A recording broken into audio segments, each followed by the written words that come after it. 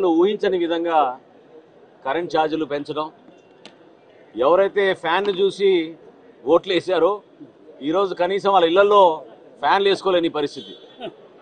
అటువంటి దుస్థితి రాష్ట్రానికి గత మూడు సంవత్సరాల నుంచి ఆర్థికంగా రాష్ట్రాన్ని చితి చితికిపోయే విధంగా పరిపాలన ఏమాత్రం కూడా వీళ్ళు ఒక పట్టుదలతోటి నిజాయితీతోటి ప్రజలకు ఉపయోగపడే విధంగా కాకుండా ప్రజల్ని ఇబ్బంది పెట్టే విధంగా సంక్షేమం అనే గ్లోబల్ ప్రచారంతో రాష్ట్ర ప్రజల్ని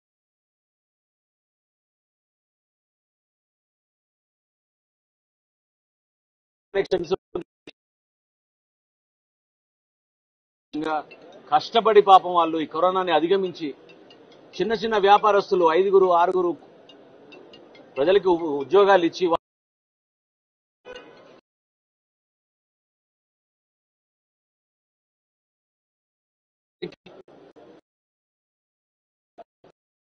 కానీ ఆలోచన కానీ భవిష్యత్ ఎవరినైతే ఈ రోజున అంధకారంలో నెట్టుతూ రోజున మనం కాపాడాలనే బాధ్యత అవగాహన కూడా లేకపోవడం చాలా విచారకరం.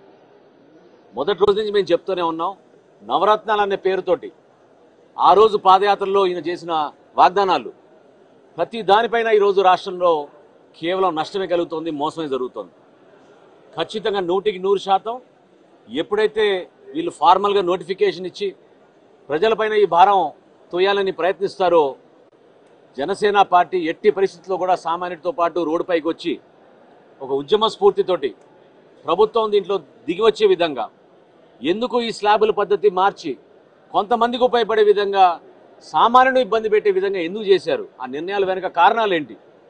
దీని గురించి కూడా స్పష్టత ప్రభుత్వం ముందుకు వచ్చినప్పుడు జనసేన పార్టీ ఖచ్చితంగా ప్రజల పక్షాన్ని నిలబడి రోడ్డు పైన ప్రజలతో పాటు మీ అందరం కూడా నడిచి ప్రభుత్వం వాళ్ళ వైఖరిని ఎండగట్టే విధంగా వాళ్ళు చేస్తున్న పొరపాట్లని ప్రజలకు అర్థమయ్యే విధంగా ఒక ప్రతిపక్ష పార్టీగా మేము కూడా బాధ్యత తీసుకుని ప్రజల పక్షాన్ని నిలబడి ఈ విద్యుత్ ఛార్జీలను మాత్రం ఎట్టి పరిస్థితుల్లో వెనక్కి తీసుకునే విధంగా మేము కూడా ప్రజలతో పాటు ఆందోళన చేస్తాం.